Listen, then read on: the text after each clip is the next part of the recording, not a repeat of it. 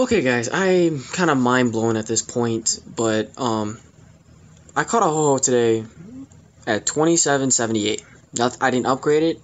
I didn't do anything to it. It didn't even have a buff or anything like that. It, there was no um, flying or in fire. There was no sunny. There was no wind aspect. It was just a normal Ho-Oh of me trying to catch it.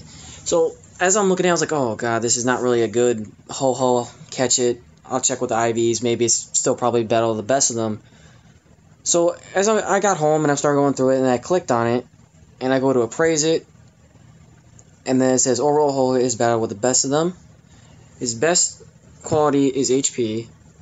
His tack is great too, and his defense is great too. So at this point, I'm already freaking out like, oh god.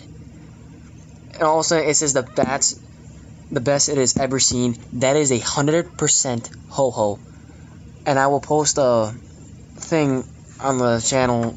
I think sometime about the IV checker. We'll do it. I can't really do the IV checker on here for some reason it just glitches out and it kicks everything out. But otherwise, this is 100% Ho-Oh at 2778.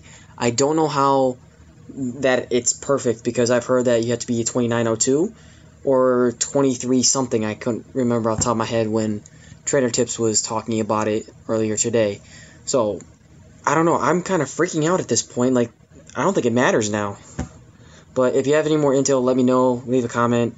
Anything like that this is this is awesome to me. I finally got my first legendary 100%. Finally. So I'll see you guys next time.